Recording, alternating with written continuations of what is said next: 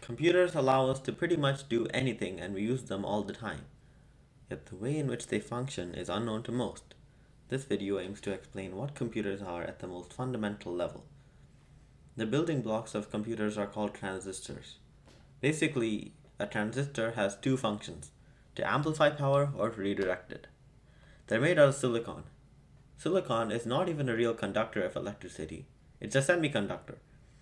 Processors get hot under load and silicon can sustain that heat, which is why it was chosen. You can add chemicals to it in order to give it or take away more electrons. Electrons are charged negatively, so silicon with more electrons is called n-type, and p-type silicon doesn't have electrons but can attract them more easily. The combination of these two types of silicon allow you to make all kinds of advanced electronics with this as the building block. As you put more transistors together, you can make something called a logic gate. A logic gate is the basis through which decisions are made in a computer. It utilizes something called Boolean algebra, where there are only two outputs. More complex transistor circuits use a special type of transistor called a junction transistor, which can stay on, even when the base current goes away. This allows it to store its on status or off status for longer periods of time until the new base current flows through it. This is how memory works at its core.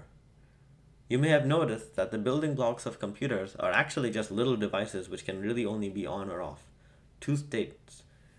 That's why binary exists. A, nu a numerical system which can work with two-way devices was required. Just like our regular decimal system has 10 unique digits, binary has 2, 0 and 1. Let's take the number 72 for example. If you divide it by 2 until 0 becomes the quotient and write the remainders for each of those divisions backwards, you'll get the number in binary, which is 1001000. With regards to transistors, 0 is off and 1 is on. You could have 7 transistors all next to each other and turn some on and some off to express any number as long as it's 7 digits or less in binary since you have 7 transistors. Each transistor is called a bit. Eight of these become bytes, and that's what all files in your computer are stored with. These bits become useful when considering operations. An operation can be thought of as any utilization of bits that outputs something. Your computer computes things like this. It can get really complex, but we can look at a simple one called an adder. An adder is a simple component of a processor which can add two numbers together.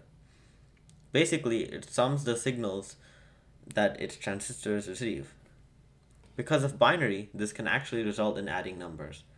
The robustness of an adder would depend on how many bits it has, which would then change the number of transistors involved in it. Most adders are much larger than what we're showing in this image, but the key takeaway here is that at their very core, computers are hardwired. They don't logically think. You may be thinking that computer hardware is only robust enough to add two things. It may appear this way, but actually it isn't.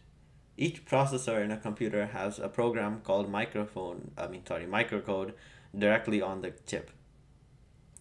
This interprets machine instructions into hardware signals that I just explained. The machine language that it receives is unique to each CPU, but it all comes from a compiler which takes the code that your application or game is written in and converts it into machine language. It's with this absolute nature, without thinking, that everything surrounding computers are built upon.